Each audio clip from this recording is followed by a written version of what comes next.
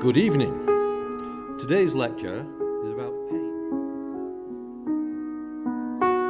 Mr. Lewis, I'm I'm so very delighted to meet you.